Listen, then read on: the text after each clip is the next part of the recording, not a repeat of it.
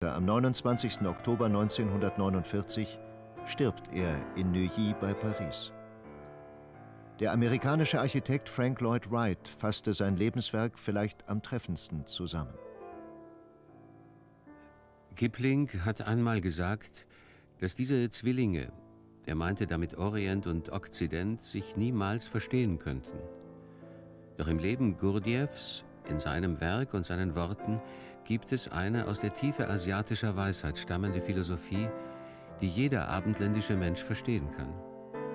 Sowohl in seinem Werk als auch in seinem Denken, in dem, was er tut und in der Art, wie er es tut, begegnen sich Okzident und Orient.